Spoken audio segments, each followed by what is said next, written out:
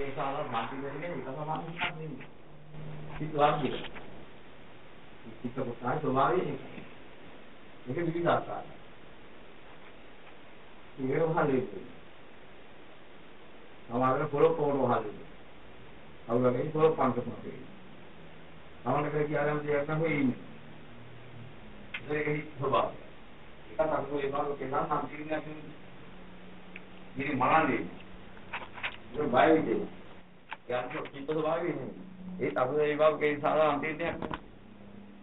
අන්න ඒ වගේ. මහා හුලඟක් එනවා පේනවා. ගස් කොළන් කඩාගෙන එනවා. කර කියා ගන්න දෙයක් නෑ. බය හිතක් ඇති වෙනවා ඒක විදියට. අර මලන්නේ බය නෙමෙයි ඒකේ ඉන්නේ. ඒ තරම් බයක් නැහැ. මොකද්ද මේ වෙන්නේ යන්නේ? අන්න එහෙම අදහසක් ඇයි තීරණේ නැගෙනවා.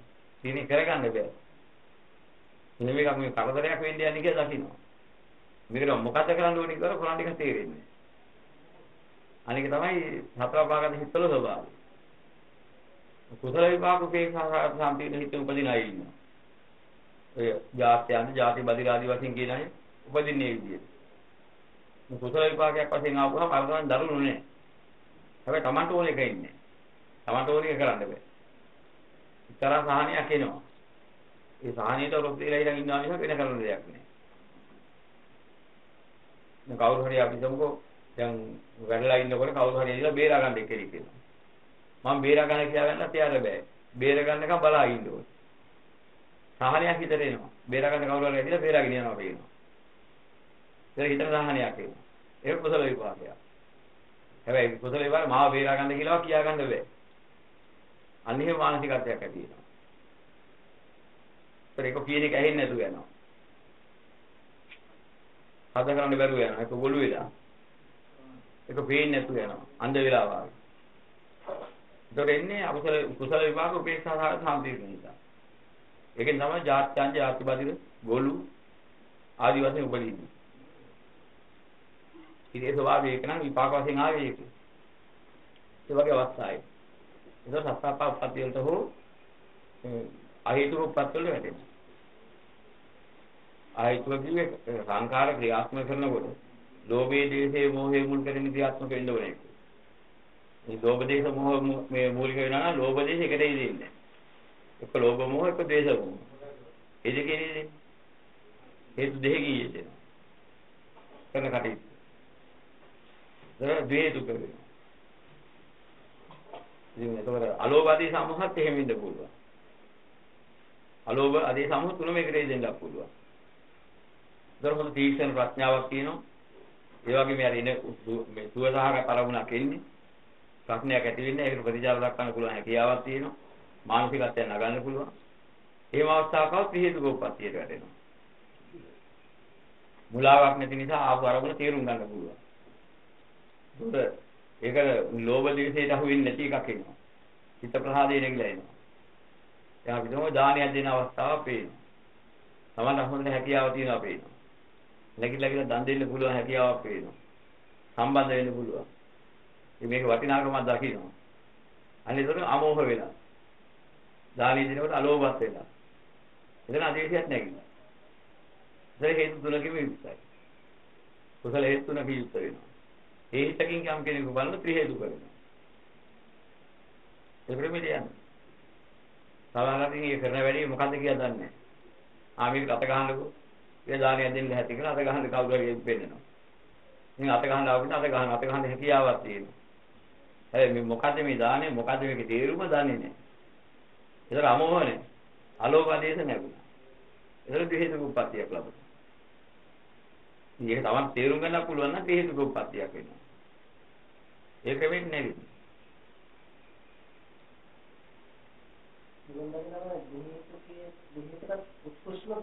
ඒක ඒකෙන් එක තියෙනවා උත්කෘෂ්ඨ මධ්‍යම ඕමක කොටස් තියෙනවා.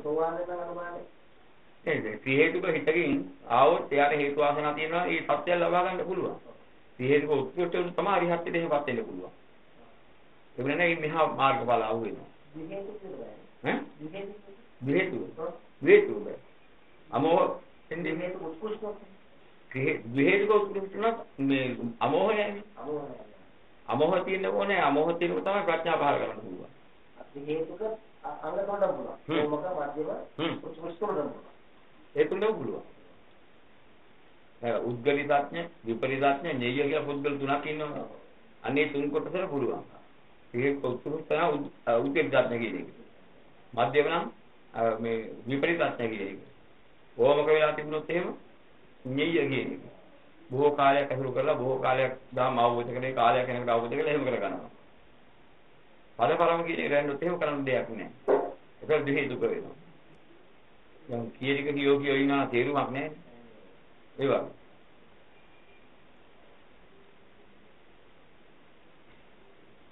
අංගනේ තනක තිබුණා මධ්‍ය කොටසේ කුම්පේ යෝගාවචර සූත්‍රයකයි. හ්ම්. ඉතින් මම සූත්‍ර පිටකේ බැලුවා සූත්‍ර පිටකේ නැහැ. හ්ම්. ඒකේ තියෙනවා ආනිසංස පහක්. ඔව්. කුම්පේ යෝගාවචර කියන්නේ පෙර. බවුන් වල ඉන්න කෙනෙකුට ඔව්. ලබන්න පුළුවන් ආනිසංස පහක්. ඒ සූත්‍රයක් තිබුණා. ඒක තමයි හඳුනන්නේ පොතක තිබුණා. ඊට පස්සේ මම මෙතනත් එක්ක කතා කරා. උබ්බේ තිබුණා. කුම්පේ යෝගාවචර සූත්‍රය. උබ්බ සූත්‍රේ උබ්බං සාන්දිත්‍ය උබ්බ නිමිත්ත සූත්‍රය උබ්බ රාම සූත්‍රය උබ්බේ සූත්‍රය කියලා ගත්තා. උබ්බේ නිවාස සූත්‍රය. ඒක තමයි කියන්නේ. කුම්පේ යෝගාවචර සූත්‍රය. ඒ කම්පින් හඳුන්නේ මේ හ්ම්. කුම්පේ යෝගාවචර කියන ඒක අදහස විදිහට තිබුණේ නෑ කියලා තිබුණේ. කවුරු හරි කෙනෙක් භාවනා කරලා තියෙනවා නම්. එයාට අවකාශ පහක්. ඒක තමයි මේ අද්භවයේ වහ හ්ම්. කියන අවබෝධ වෙන්න පුළුවන්. මේ අද්භවයේ ප්‍රමාද වෙලා. හ්ම්. මේ අද්භවයේ නැත්තම් මතු භවයේක බ්‍රහ්ම ලෝකයේ ඉඳලා. එතනින් නිවන් අවබෝධ. හ්ම්. එහෙමත් නැත්නම් මතු භවයේදී බුදුරේ හමුනොත් හ්ම්. වහා. අරහත්ත්වය ලබා ගන්න පුළුවන්. ඒ විදිහ ආනිසංස. හ්ම්. ඉතින් මම ඒක දිහා බලලා මම අදහසක් ගත්තා. හ්ම්. මට කෙනෙක්ම මේ අදහස් දුන්නා. බවුන් වැඩි යුතුමයි සෝවාන් වෙන්න. ඉතින් භාවනාව අත්‍යවශ්‍ය වගේ දෙයක් මට කැමතිනේ. හ්ම්. ඉතින් මම සමහර කෙනෙක්ට කතා කරලා තියෙනවා මේ භාවනාවෙන් තොරව වෙන්න මොකක්ද තියෙන මාර්ගය කියලා. හ්ම්. ඉතින් එතෙන්දී ගොඩක් සමහර අයගෙන් එනවා අර පාර්ථෝ විඥානය. හ්ම්. එතෙන්දී විග්‍රහන්න. તો තමයි හාමුදුරුවෝ කියනකොට පුළුවන් භාවනා කරලා පුළුවන් කියනවා. හ්ම්. ඒතන පොඩි අතමං වීම තමයි. හ්ම්. ඉතින් මෙතුම කතා කරලා තේන්නේ අහනකොට සෑහෙන ප්‍රමාණයක් විරෝධුණා. නමුත් අර ආශ ටිකක් තාම තියෙනවා අපේ යෝගාවච සූත්‍රයේ අඩු ගන්න විනය පිටකේ හරි නැත්නම් අභිධර්ම පිටකේ හරි තියෙන දෙයක්ද? ඔව්. එහෙම අනිසංස ඒකට අනුව අපි කටයුතු කරනවා අනිවාර්යෙන් භාවනා කළ යුතුයි ඒක. හ්ම්. කියන එක. ඉතින් භාවනා කරන්න කියන්නේ ආර්ය අෂ්ටාංග මාර්ගය. දැන් භාවනා කරනවා කියන වචනේ තෝරගන්න බැරි නෙවෙයි. අපි හිතන්නේ ඇද්දක පියාගෙන අද්දක තියාගෙන ඉන්න එක භාවනාව කියන එක අපේ ඉන්නේ දෘෂ්ටිය. භාවනාව කියන්නේ මොකද කියලා දන්නේ නැතිකෝ. ඒකනේ කියන්නේ. දැන් මිච්ඡා සමාධිය ලබන්නේ භාවනාව කියන්නේ. මිච්ඡා සමාධියක් ලබනවා කියන්නේ. සම්මා සමාධියක් ලබනවා ආර්ය සමාධිය ලබනවා. මේ සියල්ලම කරන්නේ සමාධියක් ලැබෙන්නේ භාවනාවකින්ද කියලා හිතුවොත් එහෙම. මිච්ඡා සමාධිය ලැබෙන්නේ භාවනාවකින්. මිච්ඡා අටමගනුගමනය කරොත් මිච්ඡා සමාධිය ලැබෙනවා. සම්මා අටමගනුගමනය කරොත් සම්මා සමාධිය ලැබෙනවා. සංකෝපංජං දුක්ඛ නිරෝධගාමිනී ප්‍රතිපදාරිය සත්‍යං භාවේ තබ්බන්ති මේ විදිහේ භාවනා කරනකොට දුක්ඛ නිරෝධගාමිනී ප්‍රතිපදාරිය සත්‍යය. දුක්ඛ නිරෝධගාමිනී ප්‍රතිපදාරිය සත්‍යය නම් කොහොමද කියපුවාම ආර්ය අෂ්ටාංග මාර්ගය කියලා විග්‍රහ කරනවා. ඒ තමයි ඒ විදිහට ආනාපාන සූත්‍රයේ මධ්‍යම නිකාය තුනේ. ඔය ඔය කියන්නේ භාවනා කලියුත්තේ ආර්ය අෂ්ටාංග මාර්ගය කියලා කියනවා. පැහැදිලි කොහොමද? මේ වචනේ ඔව්. මධ්‍යම නිකායේ තුනේ තියෙන ආනාපාන. අනේ. සම්පූර්ණ. ඉතින් අපිට භාවනාවක් වෙන්නේ මේ ආර්ය අෂ්ටාංග මාර්ගය. දැන් බණ අහලා හිටන් බණ අහන අවධානය යොමු කරගෙන ඉන්න වෙලාව. එයාට යථාර්ථය කියා දෙනකොට. දැන් අවධානයෙන් බණ අහන වෙලාව. එයාට යථාර්ථය තේරුණොත්. ඔව් සම්මාදිටිය දෙන්නේ. එනවා. ඒක ඔහු මේක සම්මාදිට්ඨිය නැගින ඔහු හරියට කල්පනා ඊටනම කල්පනා කරමින් දන්නේ. කියපු දහම සමාවිසින් හරියටම මේ මේ කල්පනා කරනවානේ.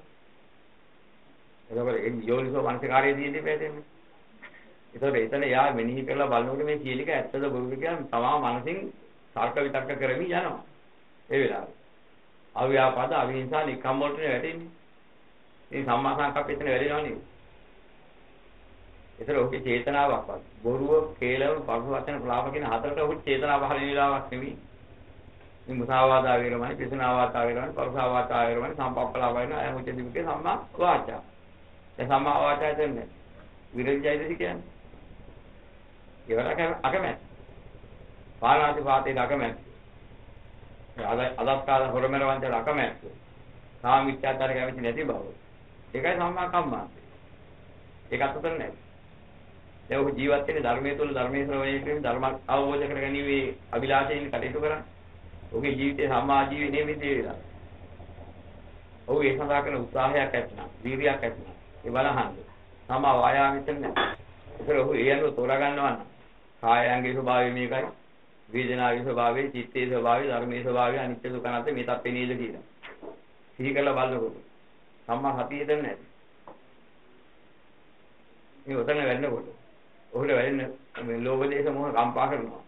ඒ ලෝභ දේශ මොහේ නම් මොකද ලැබෙන්නේ? සම්මා සමාධියනේ.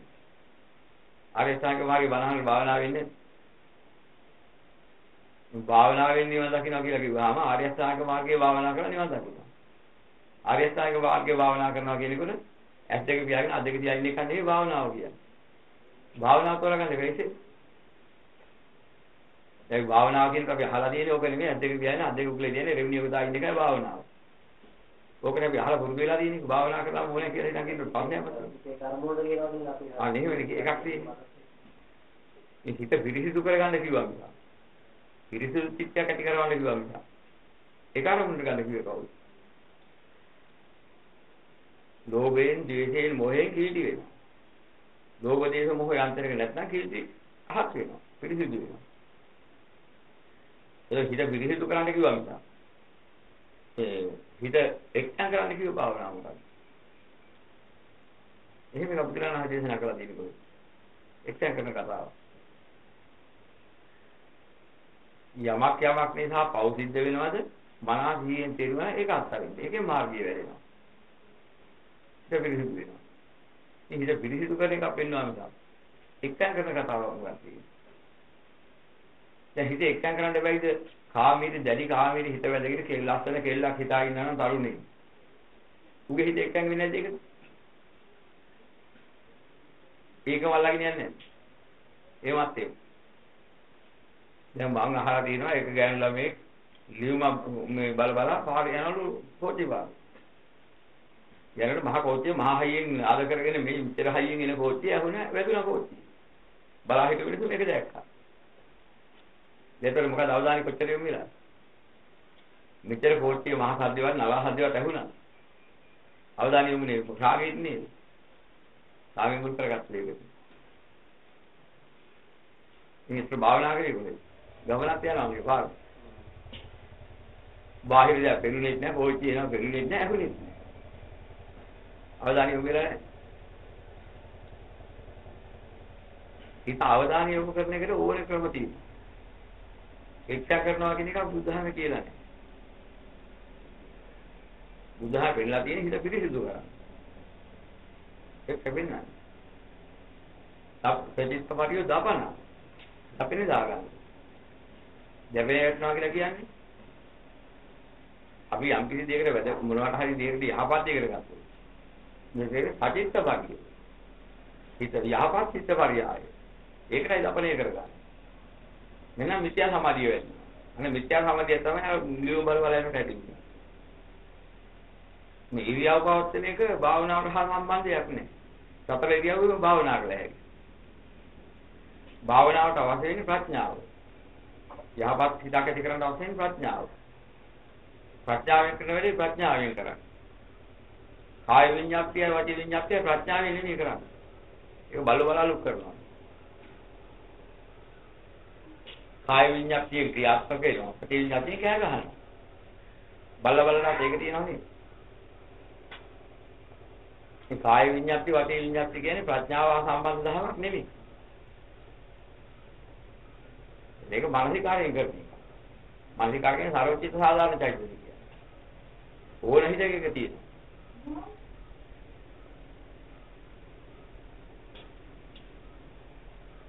ඒක ස්වභාවය ඕන හිතක තියෙනවා මානසිකාරය. මානසිකාරයෙන් නිවන් දකින්න බෑ.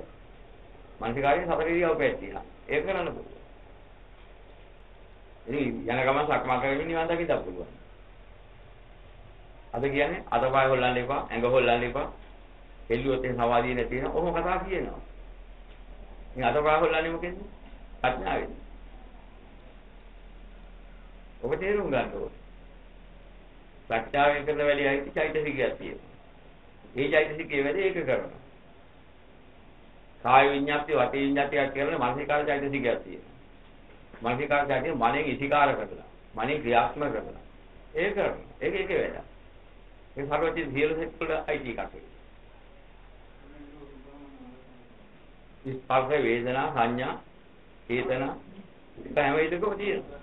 ඒවා නිවන් දකින්න පුළුවන් ඒවා නෙමෙයි. ඒ හැම හිතකම හිතක් හැවෙනම් ඒක තියෙනවා. නිවන් අවබෝධ කරගන්න ප්‍රඥාචෛතසික කෙනකින්ද. ප්‍රඥාචෛතසිකේ බාධාවක් නේ යනවා එනවා බුදියා ගන්නවා ඉඳගෙන ඉන්නවා කියන එක ප්‍රඥාචෛතසිකේ බාධකයක් නෙමෙයි. ඒක එක ඒක සම්බන්ධයක්. ප්‍රඥාවෙන් තෝ ධර්මයේ සීකරනවා. ඉඳගෙනක් පුළුවන්, හිටගෙනක් පුළුවන්, ගමන් කරගෙන පුළුවන්, නිදාගෙනක් පුළුවන්. නිඳගෙන ඉන්න. හාන්තිලා පුළුවන්. මේ හතර ක්‍රමෙන්ම ඒ වෙන චෛතසිකයක වැඩ. අවබෝධය ප්‍රඥාචෛතසිකයක වැඩ. ප්‍රඥාචෛතසිකේ ආධාරය ඉතින් අලෝභ ආදේශ අමෝහ ප්‍රඥාචෛතසිකේ ආධාරය. ඒවෙන් හිතිය කරන්නේ. මේතරේ චෛතසික තෝරා ගන්නත් නැහැ චෛතසික වල වැඩ තෝරා ගන්නත් ඕනේ. යනවා ඒ ටික කරන්නේ. මේ සම්මාදිට්ඨිය ඇති කරගන්න යම් කිසි ක්‍රමයක් තියෙනවා. සම්මාදිට්ඨියට ආධාරකාරී බල අනු මේ කල්යාණ මිත්‍රේ ධර්ම දේශනා කරනවා. සම්මාදිට්ඨියට විශාල ආධාරකයක්. ඒක ලබා ගන්න. මේව බාහිර ආධාරය. ශ්‍රවණය කරන්න ඕන කරන්නේ අර මානසිකාර චෛතසිකේ ආවර්ජනය කරනවා. ඒක. ඒක ඒක කරන එක. ආයින පුළුවන්. ආයිත නිවන් දකින්නේ. ආයිතුලේ යථානුවණි කල්පනා කරන පටන් ගත්තොත් ප්‍රඥාව වැඩි. ප්‍රඥාව කොච්චරයි? 10කට බලකෝ 10 දෙනා බණ අහලා තියෙනවා. ආයිදලා තියෙනවා. සංක ඇහිලා තියෙනවා. කලින් අරගෙන ඇහිලා තියෙනවා. එහෙමයි කිව්ව කියලා කියන්න පුළුවන්. ඒ ප්‍රඥාවට කොච්චර ගන්න තියද ධර්ම අවබෝධය ඉන්නේ. මේ ප්‍රඥා කයිසිකේ සතු වෙලා. භාවනාව කියලා කියන්නේ ඒකයි. අද භාවනා කියලා හිතයිනේ ඕක නෙවෙයි. භාවනා කළ යුතුමයි කියලා දැන් භාවනා කරන්න කිව්වොත් මොකද භාවනා කරන්න කියලා දන්නේ නැහැ. නිවන් දකින්න ආර්ය අෂ්ටාංගික මාර්ගය භාවනා කරා. වෙන එකක් භාවනා කරලා නිවන් දකින්න බෑ. ඒ හැම භාවනාවක් තුළම ආර්ය අෂ්ටාංග මාර්ගයෙන් නැඹුරු කරගන්න පුළුවන් ක්‍රමයක් තියෙනවා. ඒ ක්‍රමෙ දැනුවත් වෙන්න ඕනේ. කාම ලෝකේ කාම දාහයන්ට වැඩි කොච්චර නිදහස්ද මේ ධ්‍යාන සූර්ය. දැයිතේ කාමයේ රාගයේ ගින්නක් කියන්නේ ද්වේෂයේ ගින්නක් මොහයේ ගින්නක් කියන්නේ ඇත්තනේ. දැන් මේ ධ්‍යානයේ ඉන්නකොට රාග දේශ මොහ නැහැ මේ විලාසය. දැන් කොච්චර සාන්තද ප්‍රණීත. රාගය ආදීනව දකින්න. වෙන්වීම ආදී සංස දකින්න. දැනෙනවා. ධ්‍යානයේ ඉන්නවා නම් වෙන අංශයක්. ධ්‍යාන ස්වීවිදේ ඉන්න පුළුවන්. මොනවා මේ ධ්‍යානීට ඇවිදලා ඉතින් අත්තර පහසරිය තියෙන කුලයේ තියෙන ආදීනවා. ඒකේ බෙමුණා තියෙන අංශාංශත් මෙහෙය කළොත්. එතනින් මිදීමේ හැකියාව ලැබෙනවා. ඒක ප්‍රඥාව නැගිනවා. ධ්‍යානීය විදර්ශනා කරන්න කිව්වේ ඒකයි. ධ්‍යානීය විදර්ශනා කරන්නේ එහෙමයි. අත්තර භාරිය කොච්චර දුක්ඛයිද අත්තර භාරිය. ඒතර දකින්න මේකෙත් තව ඕලාරික හරියක් තියෙනවා. සාන්තපත් වූ නිවන අරමුණු වෙනකොට. අර ධ්‍යානයේ තියෙන නිවන නෙමෙයි කියලා දකින්න. මේකත් ඕලාරිකයි. මේකත් අත්වෙන කොච්චර සාන්ත වෙයිද? එහෙම නිරෝධාවපත් කියන කියන්නේ. එහෙම කියලා අන්ති නිරෝධයෙන් හැරයි කරන්න එකක් නෑ. මේ එහෙමත් පූර්ණ කර යන ක්‍රමයක්. අනුපූර සමාධිය යන ක්‍රමයක්. නවානුපූර සමාපatti. ධ්‍යාන සුඛේ ධ්‍යාන සුඛේ ඇලි ගලි හිටියට කවදාවත් නිවන් දකින්න බෑ. මේ ක්‍රමෙන් දකින්න ඕනේ. භාවනා කරන්න කිව්ව හරි අෂ්ටාංග මාර්ගය. නිවන් දකින්න බෑ වෙන මොනවා භාවනා කරලා. හරි අෂ්ටාංග මාර්ගය භාවනා කරනවා කියන්නේ මොකක්ද කියලා දැනගන්න ඕනේ. ප්‍රඥාව වැඩින්නේ භාවනාවේ. කොතන කළා? ප්‍රඥාව වැඩි වෙන පිළිදෙල. ඒක තමයි ආර්ය අෂ්ටාංග මාර්ගය. විතර ආර්ය අෂ්ටාංග මාර්ගය අනුගමනය කරනකොට යලි යලි අනුගමනය කරනකොට ප්‍රඥා භාවනාව වැඩි වෙනවා. යන ගමන් ප්‍රඥාව වඩා ගන්න පුළුවන්, ඉඳගෙන වඩා ගන්න පුළුවන්, හිටගෙන වඩා ගන්න පුළුවන්, හැටවිලා ඉඳලා වඩා ගන්න පුළුවන්. ඒකේ ප්‍රශ්නේ ඒ ඉරියව්ව තමයි ඇඟට මහන්සි නා. ඉඳගෙන මහන්සි නා හිට ගන්න. හිටගෙන මහන්සි නා ඇවිදිනවා. ඇවිදලා තමයි දැර වෙහත වෙන්නේ. ඒක කායික සුප විහෙන්න ගන්න එකක් නේ. හතර ඉරියව්. ඉරියව් වෙනස් කිරීම භාවනාවට බාධකයක් නෙමෙයි. අනිත්‍යයෙන් භාවනා කරලා කියනවා ඥාන සංකේත නුවණක් කියන ඉපදෙන්න පුළුවන්. අනේවත් ඒක නේද දාන සීල භාවනා කියන එක. ඥාන ඒ ඒ කියන එකේ තියෙන අලෝභදී සමෝහිතාවලියක් හදා ගැනීම. එතන කරන්නේ. ශාසනයේ උපනිශ්‍රේ වෙන මේ වැඩ පිළිවෙල කරලා තියෙන්න ඕනේ ශාසනික ඵලයක් ලබා ගන්න. මේ ශාසනික මාර්ගය අනුගමනය කරන හැටි අපපස්ථාන කරලා වන්දනා මාන කරණිය පූජා සත්කාර කරණිය ඒකේ උපනිශ්‍රේ සම්පත්තිය ලැබෙන පුණ්‍ය වාසනාව මේ සම්මාදිටික මාර්ගයට අවශ්‍ය කරන පසුතලය හැදෙන්නේ. නිකම් භාවනා කරලා බෑ. දැන් නිකම් භාවනා කරලා ඉනම් ප්‍රථම අධ්‍යාන ඵලයේ ඉන්න මහා බ්‍රහ්ම. මේ භාවනා නිකම් ගියේ නෑ. භාවනා කරලා බුදුරජාණන් වහන්සේ ගිහිලා ධර්ම දේශනා කරුවා මොකද්ද කිව්වේ? ළඟ වෙලා හිටන් කිව්වා ඔබ වහන්සේ බුදුන් කියලා පිළිගන්න. හැබැයි මල් කට්ටියට කියන්න එපා. ඔබ වහන්සේ යන්න. දුන්න උත්තරේ ඕකනේ. අනික අයත් මොකද? ඔබ වහන්සේ කියලා පිළිගන්න පාන්න. අපි අපි පියාගේ ඒවා අපිට හොඳයි. ඔක්කොම භාවනා කළා ගිහලා. ලෞකික භාවනා කළා ගිහලා කො බුදුරජාණන් වහන්සේ ළඟට ගිහලා උත්තර ප්‍රාතිහාර්ය වෙන්න බාන ධර්ම දේශනා කළා. ගත්තා. භාවනා කරලා පළියෙන් නිවන් දකින්න බෑ එහෙම. භාවනා කරනවා කියන එක තේරුම් ගන්න ඕනේ. ලෞකික අදහසේ විහිතන ලෞකික නිත්‍ය සපාත කියන දෘෂ්ටියේ ඉඳලා ඒ දෘෂ්ටිය වැළඳගෙන භාවනා කරලා ඉතින් තියන අය ඉන්න. බබලෝ නිත්‍ය සදාල නිකන් කියන. ඉතින් අපි පියාගේ තරු. පියා තමයි මේකේ මූලිකය. එහෙම දෘෂ්ටියක ඉන්නේ. ওই දෘෂ්ටියේ නිකන් යන කොච්චර බලන කියලා තේරෙලා ඒක තමයි ඒ දෘෂ්ටිය රහු වෙන්නේ ආර්යයන් ඇසුරු කළ ආර්යයන් සඳහා කරන අපපස්ථාන ආදී කරනකොට. ඒ පිණින් හටගන්නේ. අර වගේ මොට්ට වැඩට වැටෙන්නේ නැහැ. ඉතින් කියන බන් තෝරා ගන්න පුළුවන් මධ්‍යස්ථ මානසිකත්වයක් ලබනවා. ඒ ඇලිලා නැහැ කොතනකවත්. දෘෂ්ටියක ඇලින්නේ. නිසා ඒ දෘෂ්ටියක වැලිච්ච නිසා උපේක්ෂාවෙන් ඉන්න නිසා. යතෝනේ විමර්ශනය කළ යථාර්ථය දැනගන්න. කොතනකවත් ඇලිච්ච එකක් නෑ. ඒක දැනගන්න. මේකට ආර්ය මාර්ගයේ ප්‍රතිින් පින්දහම් කෙරෙන්න ඕනේ. මූලික ආර්ය මාර්ගයේ දැනුවත් වීම තියෙන සම්මාදිට්ඨියට එන්න ඕනේ. කොහෙන්ද? සම්මාදිට්ඨිය මූලික කරගත්ත වැඩ පිළිලා කෙරෙන්න ඕනේ. මූල ධර්මයේ තේරුම් අරගෙන යන්තම් හරි අනුමාන ඥානින් හරි තේරුම් අරගෙන ඒ බඳු වගේ වැදගත්කම දැකලා ඊයට අපපස්සාන කරු සත්කාර කිරීම ආදී කරනකොට ඒකෙන් ලැබෙන්නේ කවදා හරි ආර්ය මාර්ගයේ පූර්ණ කරන්න හේතු වෙනවා. ඒ අපදාන පාළි කෙලවරක් නෙවෙයි විසුණුලා 500 ගන්න. මුලින් මල පූජා කරලා පහන පූජා කරලා පටන් ගත්තා. හැබැයි ඒ කාලේ මල පහන පූජා කරනකොට මේ වෙන වෙන බාහිර ඒවා පූජා කරලා හරියන්නේ නැහැ. ඒ හේතුව දැකලාම කරන්න ඕනේ. දැන් ගස්කල් වලට අධිපති දේවතාවෝ ඉන්නේ. ඒ කාලේ ගස්කල් වලට පාන් තිබ්බා. ඇලෙහුවා. ඒ දේවතාවන්ගේ පිළිසරණ බලාගෙන. ඒ જાතිය පානක් තියා නිවන් දකින්න මොකක් පැහැදෙන්නේ නැහැ. ඒ ජයශ්‍රී මහ බෝධින් වහන්සේ ළඟ පානක් තිබුණා. දේවතාවෝ බලාගෙන නෙවෙයි පානක් තිබුණේ. බුදු ගුණේ දී කරගෙන.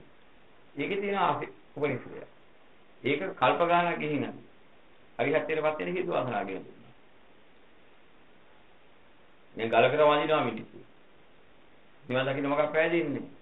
වැලි ගොඩක් ගහගෙන බුද්ධ සංඥාවෙන් අපපස්ථාන කරනවා. පොලින තු පිස්සේ රාම දාන්නේ. ඉතින් එයාට නිවන් මාර්ග වැළඳුනා. තුනුරුවන් මුල් කරගත්ත සංඥාවේ හිත පහදවා ගත්තා. ඒ පහදවාගත්ත මාත්‍රේ භාව කවදා හරි නිවනට උපනිශ්‍රේ වෙනවා. ඒ තුනුරුවන් අහක් තමයි බාහිර ලෝකේ මොනවාද අපවස්ථාන කළා. ඒ ලබන පිනක් තියෙනවා. ඒකේ නරකක් නැහැ. විනේ නරකක් නැහැ. දැන් ඔය බාහුංචේ සරණං යන්ති පබ්බතානි වනානිත මේ ආජෝහෙ පිළිනවා. ආරාම රුක්කේ චෛත්‍යානි මානසාබාය සජ්ජිත ආදි වශයෙන් ඒ ඕවෙන් වැඩක් නෑ මොට්ට වැඩ කියලා එහෙම නෙමෙයි නේතාන්තයේ සරණං කේම. ඒ සරණ නැතුව අපි වෙන ඒ සරණ කේමේ දේවල් නිවන්ට හේතු වෙන්නේ නැහැ කියලා කිව්වා. සරණක් නැහැ කියලා දේශනා කළේ නෑ. ලෞකික පිළිසරණක් තියෙනවා ඒකේ. කිවිතේ දැන් මේ සුජාතා හිතු දේවිය පුතෙක් ලැබෙන්න නුගරුකට බාරයක් වුණා. නුගරුගේ ඉන්න දේවතාවට. නුගරුකට නෙමෙයි අදහි දායි නෙමෙයි නුගරුකට බාර වුණා කියලා. නමුත් ඒ කාලේ දැනගෙන හිටියා රුක් දේවතාවෝ ඉන්නවා ගස්කො තරක්ගෙන කියලා. අද ඒක දකින්න නැතුව මේ පාටල් කරන්න ඕන හින්දා කියන්නේ විශ්ව ගස්කල් ඇදපු මෝඩියෝ කියලා. ගස්කල් ඇදුවේ නිකන් නෙමෙයි ඒ විදිහේ ඉතිහාසයක් දැනගෙන හිටියා. ගස් වලට අධිපති ගල් වලට අධිපති රුක්ෂ දේවතාවෝ නොයි බලවත් ආප් බැව් කියන අය ඉන්නවා කියලා දැනගෙන හිටියා. දැනගෙන ඒගොල්ලන්ගේ පිළිසරණ ගන්න තමයි ඒගොල්ලන්ගේ පරිසරයේට අර අපව ස්ථාන කිරීම කළේ. ඒක විශේෂයි. බුදුරජාණන් වහන්සේ දේශනා කළේ ඒක පිළිසරණක් නෑ කියන්නේ මේ ඒක නිවන්ට හේතු වෙන්නේ කියලා. අද කියන්නේ අතීතයේ හිටපු මොඩියෝ ගස්කල් ඇදහුවා. මුකුත් දන්නේ නැතුව කියලා. ඒ පාචා කරන්න කියන කතාවක් ඒක. බුදුරජාණන් වහන්සේ එහෙම කතාවක් ඔය කතාවක් කොහෙද දේශනා කරලා තියෙන්නේ? මේතන්තේ සරණං කේම සරණක් ගැන කියුණා නේද එතන? අන්න ඒකේ බැහැලිම වෙන්නේ. දැන් පුංචි ළමයෙක් ඉන්නවා අම්මයි තාත්තයි මේ දෙන්නගේ වයක් ආපුවාම කවුරු හරි ගහන්න ආවොත් ළමයි ගහන්න ආවොත් දුවගෙන ඉතින් අම්මා ගෑගේ ඉන්නවා. තාත්තා ගෑගේ ඉන්නවා. බේරා ගන්න. හැබැයි නිවන් දකින්න හේතු වෙනවද ඒක? ළමයි පිළිසක් අහම්බුනේ නැද්ද? කොල්ලෙක් ගහන්න දුවගෙන ඉන්නවා මේ බොයි එක ගිහින් තාත්තා ගෑගේ ඉන්නවා. දැන් තාත්තාගේ වලේ ඉතිරි කොල්ලන් ගහන්න පුළුවන්ද ඒක? ඌ බැලලා දුවනවා. තාත්තා සරලා දානවා. දැන් ළමයි පිටි ගන්න තේ හම්බුන්නේ. හැබැයි ළමයි වෙලෙ පිළිසක්. නේතාන්තේ සවනා කේමා. ඒක නිවන්න හේතු වෙන්නේ නැහැ. නේතාන් සවන උත්තම. ඒක විදීමට හේතු වෙන්නේ නෙවෙයි. හැබැයි කොල්ලන් හරණා තිබුණා. ගුලිනක වෙන්නේ තාත්තා හින්දා. ඒ එකක් නේද? දැන් සුජාතාවසේ කිව්වේ ඒක. ළමයි හම්බුන්නේ නැද්ද? හම්බෙච්ච වාගේ ඉඳ උප කරන්නේ. දැන් නුගරුකට බාරයක් වුණා දරුවෙක් ලබා ගන්න. බාරය උපකරණේ දරුවා ලැබිච්ච නිසා නේද? ලැබි දරුවා ලැබුණේ නැත්නම් බාරය උපකරණ දෙනවා. ඒ දිවිල නැද්ද ඒක විශේෂය? ඉන් දකින්න බැරි පැතිනේ තියෙන්නේ. අර දේවතාවර පුණ්‍ය විදියක් තියෙනවා. සමහරවිට මේ මේ තැනැත්තිට පසුතලයක් තිබුණේ නැහැ. ශාරීරික පසුතලයක් තිබුණේ දරුවෙක් හම්බ වෙන්නේ. අර දේවතාවට කියනනම් බාරයක් කියලා හිටන් අර උස්සේ මුල් කරේ තමයි උස්ස දේවතාවට බාරයක් වුනේ. එයාගේ තියෙන පුණ්‍යීත්‍ය බලලා මට උදව්වක් උපකාරයක් කරපු කෙනාට මම උදව්වක් උපකාරයක් කරන්න ඕනේ කියලා. බලනකොට එයාට වෙන එයාගේ පුණ්‍යීත්‍ය මේ තියෙන විස කිරණ කයින් කරන්න පුළුවන්. එයා අදිස්ථාන කරනවා මේකේ සුද්ධ වෙන්නේ නැහැ නේද තියෙන විස කිරණ. අර පුණ්‍යීත්‍ය වලේ පිරුවාම අර විස හත් පිටකම් දරු පිළිසින් දිවට අවස්ථාව ලැබෙනවා. දරුවෙක් ලබා ගන්න මගේ වැරදියි. එහෙම කන්නේ කියලා නෑ. බුදුරණා දේශනා කරලා තියෙන්නේ වජ්ජිත දේශනා කළේ මොකද්ද? පැරණි වජ්ජි චෛත්‍ය වලට කරු සත්කාර කරන්න පූජා කරන්න. ඒ වලට අභිවෘද්ධියක් නේ පිළිහිමක් නෑ කිව්වා. වජිචෛත්‍ය කියන්නේ මොනවද? බුදුන් වහන්සේගේ වැඩිකුනේ. නෑ දෙවියන් කෝවිල් දේවල්. මේ කිව්වනේ ඒවට මේ දැහැමි බලි මේ දැහැමි පුද පූජා පවත්වන්න ඒවා කරන ඔයගලට අභිවෘද්ධියක් නේ පිළිහිමක් නෑ කිව්වා. මේ නෑ ඒවා කිව්වා. එයාට කියන්නේ මිත්‍යාදෘෂ්ටි කියලා. දෙවියන් නෑ දෙවියන්ගේ පිටක් නෑ කියලා කියන්න බෑ. හැබැයි මේකේ තේරුම් ගන්න ඕන එකක් තියෙනවා. ඔය ඔක්කොටම නායකයා මාර්යා. වසවාර්ථේ මාර්යා. වසවාර්ථේ මාර්යා කවදාවත් මේ ලෞකිකත්වයේ තුල තියෙන අප සම්පත් හොයාගෙන යන අයට කවදාවත් පහර ගහන්න යන්නේ නැහැ. දැනසිල්ලක් හොයනකට පහර ගහන්න යන්නේ නැහැ. ඒක වසවාර්ථ මාර්යාට පෙන්නන වෙලේ එකක් තියෙනවා බෞද්ධයෙක් කියන එක. බෞද්ධයෙක් කියන ලැහැත්තිලා වැඩ කරන එක. එයා ඔය තෙන්දම මූලේ නම් විරෝධය පළ කරනවා. ඊට පස්සේ අර කල්ලන් පුරුද්දට ගිහිලා. අරියට අපිටක් හම්බුණා, මෙයාලා අපිටක් හම්බුණා, මාත් පිටක් ගන්න යන්න කියලා ගිය ගමන්. ගහනවා පහර. මොකද ඒවා මාර්යාවක තමයි. ඒවත් එක්කලා බෞද්ධයර හෙල්ලම් කරන්න යන්න හම්බෙන්නේ නැහැ. ලෞකිකත්වයේ හැබැයි බතවල ඒක ප්‍රශ්නයක් නෙවෙයි. ඒ වත්තේ මේ ඉන්න ඇයිද පිහිට තියෙනවා. නෝ බෞද්ධයෙක් කියන්නේ ඔබද. ලෙඩේ හිඳ මේ විදර්ශනා වල ගන්න වෙලිකමක් තියෙනවා. ලෙඩේ හුද කරන්න ඕනේ කියලා යනවා. ඔකට ලෙඩ නෙවෙයි ලෙඩ 10ක් හදලා විදර්ශනා කරන්න යනවා කියලා අර ලැහැතිලා ඉන්නේ.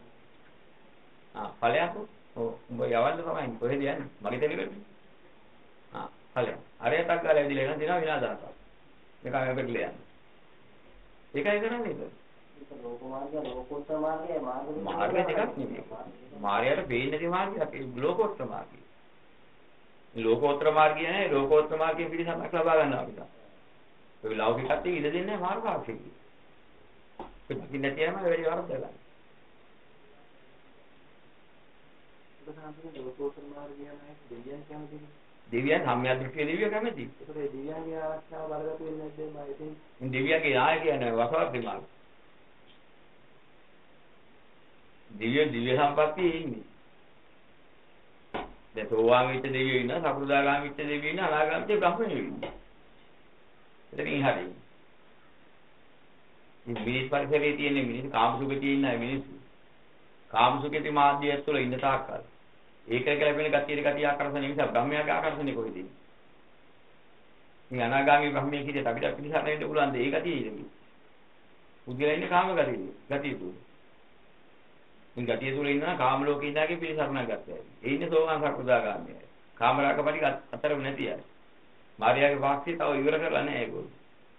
මේගොල්ලන්ගේ පරිසරයේ මාර්යාට බලපෑම් කරන්න පුළුවන්. දැන් සෝවාන් ගිලා හිටපු ආනන්ද හාමුදුරනේ බලපෑම් කළේ නැද්ද? තථාගතයන් වහන්සේට සතර ඉන්දිපාද වැඩි කෙනෙකුට කල්පයක් හෝ විවිධ වැඩි කාලයක් ජීවත් වෙන්න පුළුවන් කියලා තුන් වතාවක් කියනකොට. කියන්න එපා. අව දෙන්න එපා. ඉල්ලන්නේ ඉල්ලීම කරන්න එපා කියලා වැහුවේ නැද්ද? සෝවාන් ගිලා නිහිටි. තුන් වතාවක් කියලා මනස වැහුවා. ඉල්ලීම කරන්න දෙතිබ්බේ. සෝවාන් වුණාට කාමරාග පරිගය දුරු කරලා නැති නිසා මාර්යාගේ පැත්තේ කොටස් තව තිබුණානේ. එයාලම. ඒකනේ මාර්යාට බලපෑම් කරන්න පුළුවන්. සෝවාන්නේ අපින්නා බවලවස්සයි ඉන්න ඔක්කොම මාපාස්තික හ්ම්. බම්බ තලයේ ඉන්න ඉගෙන බම්බ තලයේ තියෙනවානේ. හ්ම්. ඒ දක්වා ඉන්න සියලුම පිළිස් මාපාස්තිකද? ඔක්කොම මාර පාක්ෂිකයි. එකෙනෙක් නෙවෙයි, ඉහරත් මාර පාක්ෂිකයි. පවිතු මාරයා කියලා කියනකොට ඔතන තියෙන්නේ පවිතු මාරයා කියනකොට වසවර්ති මාර එක්කෙනෙක්. ඒ දේව පුත්‍ර මාර. තවත් හතක් ඉන්නවා. අවිසංකාර මාර, මත්තු මාර. ඉතින් ඒක ඒ වගේම මේ මේ ක්ලේශ මාර. ඒවත් මාරනේ. ඒවත් ඉතින් නැගිලා ඉන්නවා. දැන් බ්‍රහ්මයෙකුට කිව්වොත් මොකක්ද තියෙන අදහස? බලන්නකෝ මගේ මාලිගාව. බලන්නකෝ මගේ ලස්සන උයන්නොත්. මට ලැබෙන සම්පත්තිය පේනවනේ. දැන් තව මොහොතකින් ඔබ අරිහත්ත්වයටපත් වෙනවා. ඔක්කොම විනාශ වෙනවා. මොකද කියන්නේ? ඊටේල මට බෑ ඒවා දාගන්න. එයා ඉන්නේ ඉතින්. ක්ලේශ මාර වල බෑනේ. එයා කැමති ඒක. ඉතින් කොහොමද මම පාදා ගන්න? ඉතින් එයා කියන්නේ මා වාගේ වියල්ලා. මගේ තැනට ආරෙන්න. ලෝකේ අනුකම්පාවෙන් දායක කටයුතු කරලා ඉතින් දෙන්න පුළුවන්. ඒගොල්ලෝ එහෙම එකක් කියනවා. ලෞකික වාක්‍යය. ලෞකික වාක්‍යය උප මානපාක්ෂිකා කියන්නේ ඒක. කාම ලෝකේ මානපාක්ෂිකයේ නායකයා තමයි වසවර්ති මාන. දේවපුත්‍ර මාන. නෝ කර්ම මාන, ක්ලේශ මාන, විපාක මාන. මේ ඒවා තියෙනවා නේද? මච්චු මාන. ඒවත් එක්කනේ ලෝකේ අනික වෙන්නේ. මාරයයි මාර දිව්‍ය පුත්‍රයයි විතරද. ඒවට වසඟ වෙලා. ලෝකේ ඉන්න තාකල් ඔක්කොම ඉන්න පිළිද ඒකට වසඟ වෙලා. ඔය ඔක ඔය එකක්වත් වැඩක් නැහැ කියන අදහස ආපොත් නේ නිවන. මේ එකක්වත් අදහ අරිසියලා ඉන්නේ අදහස විතරයි. පස්සේ කාලෙක තමයි අධ්‍යක්ෂින් ලබාගෙන ඒක අධ්‍යක්ෂින්ම ලබා ගන්න. ඵලයේ ලැබුදා. ඒක ගන්නේ දෘෂ්ටියෙන් අහක් වෙලා. මිත්‍යා දෘෂ්ටියෙන් අහක් වෙලා ඉන්නේ. මේ පොතක ගියා බ්‍රහ්මයා වුණා දෙවියෝ වුණා අන පොතන මොන જાතිය බ්‍රහ්මයෙක් වුණා මේ පැවැත්ම නේද? පැවැත්ම විනාශ වෙලා යනවා. පැවැත්ම කැමති දෙයක් නෑ. එහෙම එකේ වැඩක් නෑ කියන එක ඇත්ත. එතන ඉන්නවා. ඒක දත්තරලා යන්න බෑ. එතන මාර පාක්ෂිකයේ වහල් වෙලා ඉඳීමයි. මාර පාක්ෂිකයෝ දැනගෙන අත්හැරෙන්න ඕන කියන සම්මාදිට්ඨියේ ඉඳීමයි දෙක. සම්මාදිට්ඨිය තිබුණ බලන්නේ. මිදිලා නැහැ සම්මා ඥානෙ පහල වෙලා නැහැ. ක්ලේශාවරණ කියන්නේ ඔය පරිස්සරේ ඉන්නේ. ඔය ක්ලේශාවරණ ඔක්කොම ඉන්නේ. කෙලෙස් තියෙන්නේ. රාග දේශම ඔක්කොම කෙලෙස්. කාම රාගත් කෙලෙස්, රූප රාගත් කෙලෙස්, අරූප රාගත් කෙලෙස්.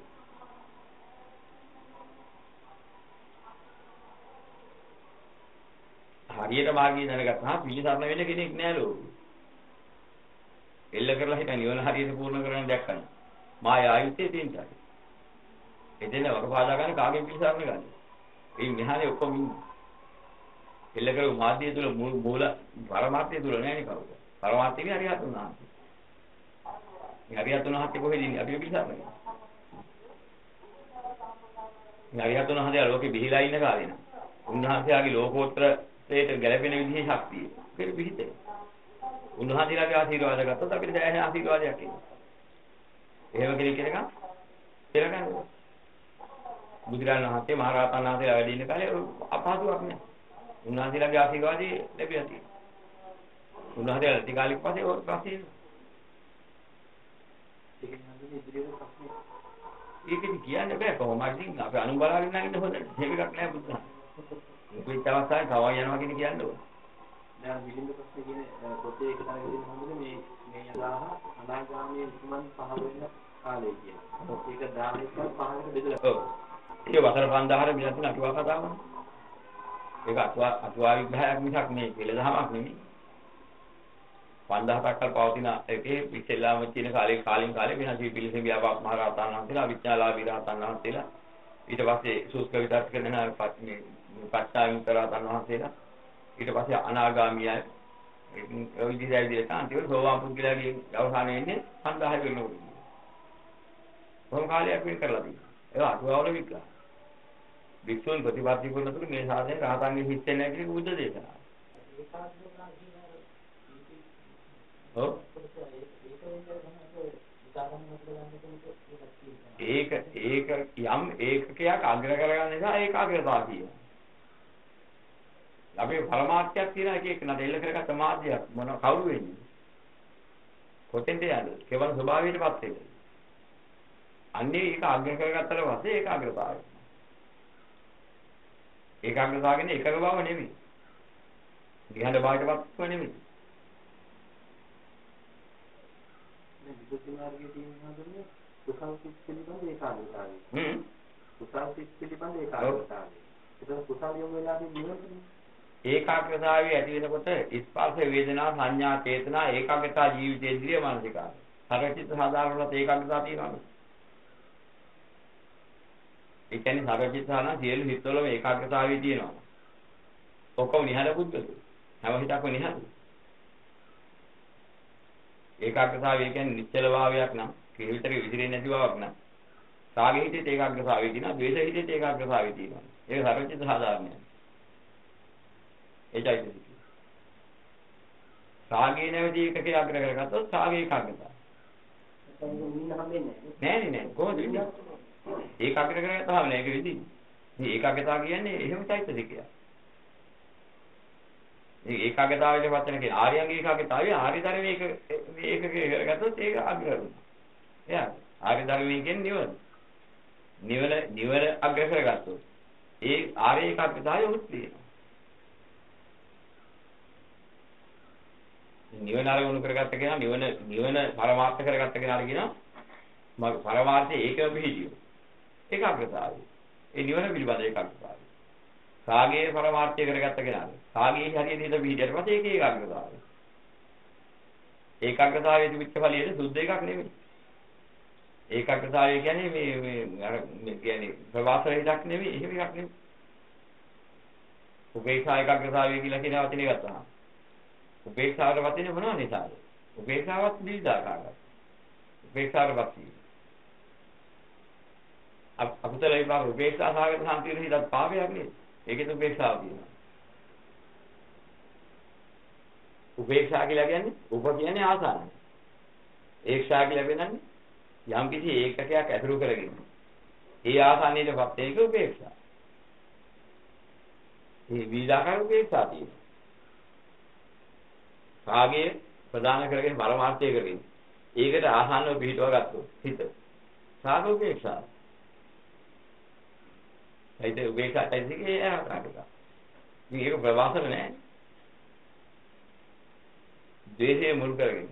ඔකගෙන් පලි ගන්නවා ගන්නවම කෙනෙක් කියන දැන් ද්වේෂය නැවත ඒකක අග්‍ර කරගත්තා පලි ගන්න කවුරුද 17ක් එතකම ඔහු ඒකට පෙළඹෙනවා උහුණත් ඒකාග්‍රතාවයක් තියෙනවා. ඒකාග්‍රතාවය කියන වචනේ තෝරා ගන්න ඕනේ ඉස්සෙල්ලා.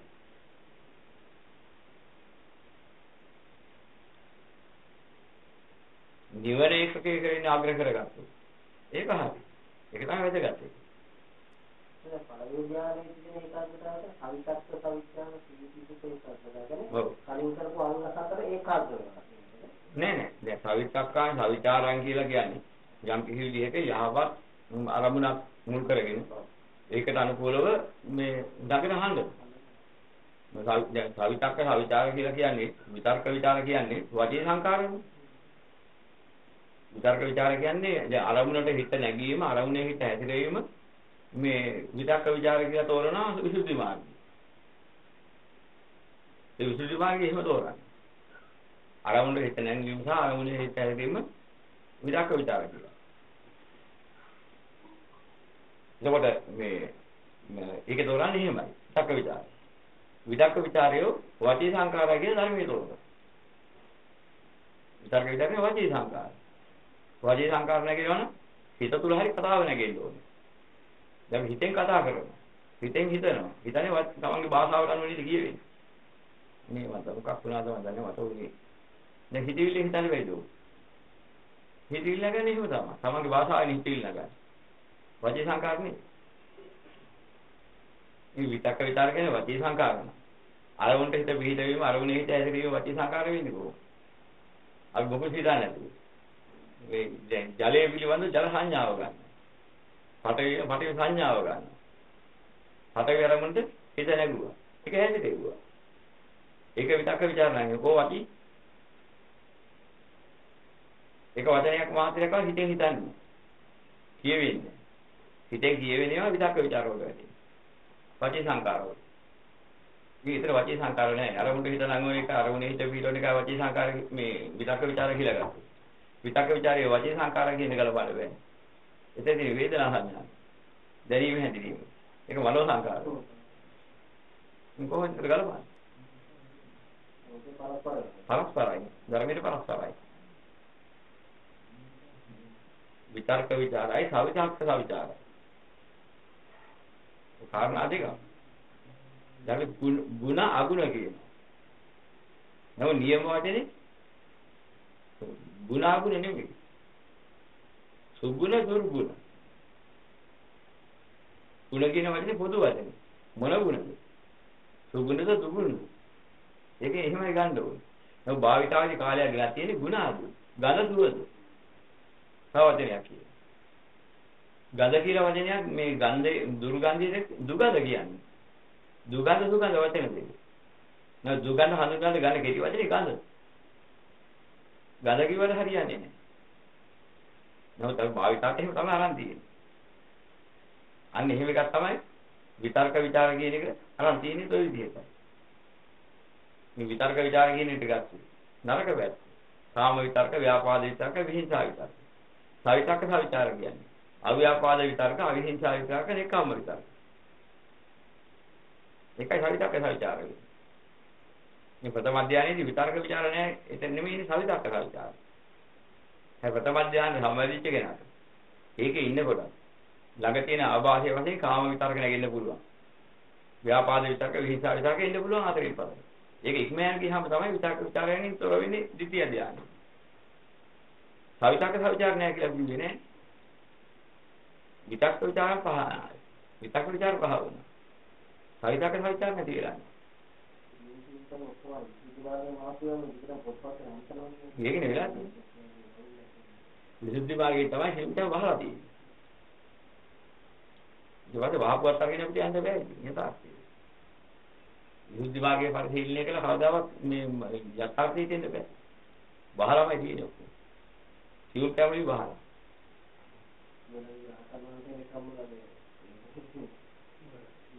මම මහත්තයෝ අවුරුදු පහක් ඒක විහාරේ ඉන්නවා. මේක මේ කාමයේ කොහොමද? මේක මේ කාමයේ එකක් හදන්න කුටි කුටි කියන එක කොහොමද නැහැ. ආහ්. ඒක දෙකන ඔය ඒක විහාරේ කියන එක පිටිපිටින් තියෙනවා මතක නැහැ. අන්න ඒක. ඒක විතරක් කියන කියන්නේ. අන්න ඒක. ඒක විහාරේ ඕක නෙවෙයි. ඒක විහාරේ කියන්නේ චතුත්පත්ය යන්නේ. ඒක ඒකට මන්දුවයි. දැන් එක්තරා විසුණු වහන්සේ නම කවුරුවත් එක්ක සම්බන්ධයක් නැහැ. එයා හුදකලා ඊගේ වෙනම තැනක ඉන්නවා. විසුණු වහන්සේලා සිවුරු බලු කරනවා, ඒකෙත් සම් කරනවා, යටි කටයුතු කරනවා. කතා කරපුවාම ඉන්නේ නැහැ. ඒ වැටතරවත්. අර ඉතින් වෙලා ඉන්නේ. ඊපස්සේ ඇයි එහෙම වෙන්නේ කියලා බා. බුදුරජාණන් වහන්සේ දේශනා කළේ මේ හුදකලා විවිධ ඉන්න කියලා. අර ඒක විහාරී ඒකනේ කියලා. ඉතින් මේ වැරදි ආකල්පයක් කරන් තියෙන එක බුදුරජාණන් වහන්සේට කිව්වම කින්නේ වල වික්ෂු. ඒ ස්වාමීන් වහන්සේ වෙනත් කිව්වේ ඉතින් ඒක විහාරියෝ ඉන්නේ කියලා කිව්වා. පුදකලා ඉන්නේ. මම ඔහොම එකක් තියෙනව නැත්නම් මගේ සාසුනේ නෙමෙයි. බාහිර ශාසන වල එහෙම එකක් තියෙනවා. මගේ ශාසනයේ යම් කිසි කෙනෙක් ඒක මේ මේ ඒකීය වෙනවා කියලා කියන්නේ. රාගයෙන් වෙන් වෙලා, ද්වේෂයෙන් වෙන් වෙලා, මොහයෙන් වෙන් වෙලා ඒකීය වීම. ඒකයි කියන්නේ. ඒක කරගන්න සංඝයා අතර හිටපන් කිව්වා. ඒතරම් ඒක කරගත්ත හැයි කොහොමද? එකලා වෙනවා කියන්නේ අන්න ඒකයි කිව්වා. රාගයේ සමගින් ඉන්නවා දෙවැන්නේ සමගින්. ද්වේෂයේ මොහේ සමග කරගෙන නම් දෙවැන්නේ සමගයි. දෙවැන්නේ සම එකලා වෙන්න ඕන නම් රාගයෙන් ද්වේෂයෙන් ඉවත් වෙනවා. ඒක ඉවත් කරන්න පහසුම දේ තමයි සංඝයා අතර ඉන්නේ. සංඝයා අතර ඉන්න එකලා කියන්නේ. ඉතින් එතන එකලා වෙනවා කියන එක දන්නේ නැහැ. එකලාවකින් චතුත්ථ ධානය. උපේ අර කියන ඇලීම් ගැටීම් දෙකෙන් සම්පූර්ණ ඉවත් වෙලා ඉන්නේ. ඔව්. ඒකට කල්යාණ මිත්‍රයෙක් නැත්නම් එකලා වාසයේ හොඳයි කියලා කිව්වේ ඔක සම් ඔතන සම්බන්ධයක් නැහැ නේද? මේ කල්යාණ මිත්‍රයෙක් නැත්නම් එකලා වාසය හොඳයි කියන්නේ අපි දැනගන්න මාර්ගය අපි දැනගෙන තියෙන්න ඕනේ. දහම් ගුරුවරයා ඉන්න කෙනාට පුළුවන්. මේ තව කෙනෙක්ගේ මේ ඇසුරක් නැතුව ඉන්නේ. දහම් ගුරුවරයා සමග ඉන්න ඕනේ. දහම් ගුරුවරයාගේ පරිච්ඡාම්පාදයි. 44ක් හෝ 66ක් 77ක් ඥාන දර්ශන ඇති. පරිච්ඡාම්පාදේ යම් කෙනෙක් දන්නවා. ඔකට ගුරුවරයෙක් අවශ්‍ය නැහැ. ඒකයි විග්‍රහ කරන්නේ.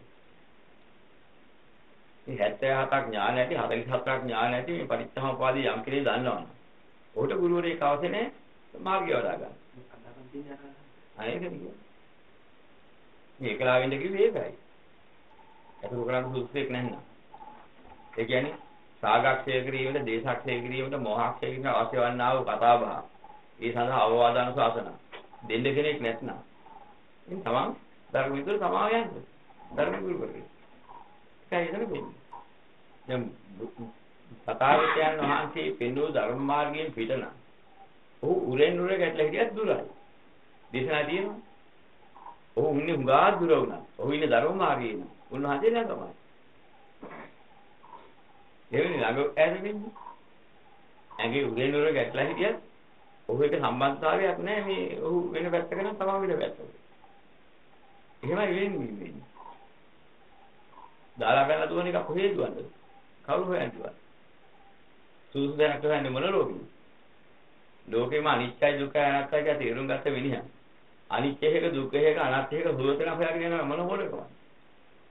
කොයිද එහෙම එකක් තියෙන්නේ? ඒක එහෙම එකක් නැති දැනවද? ඔක්කොම අතරලා කොහෙන් චන්දරාගින් දුක වෙන්න හදන්නේ. නදාලනේ පැනලා දුවලා ගිහින්. කොහේ යන්නේ? ඉතින් හොඳ හොඳ අධ්‍යක්ෂකවන්නේ මේ කාලේ එහෙමයි ඉන්නවා. සිය පොලක හිටපු අය ඉන්නවා. ඒක පොලකත් ඉන්න බෑ. යනවා. තමන්ට ඕනේ හැටියට. ඕනේ හොබේ පිටින්. මේ කැමති නොකෝතේ ලෝකේ කියලා වචනවත් අහලා තිබුණා. ලක් පොඩ්ඩක් දැනගෙන තිබුණා. කැමති නොකෝතේ ලෝකේ ලෝකෙම කැමති නෑ. මම කොහේ යන්නද? ලෝකෙත් වෙන්න ඕනේ. ඒකනේ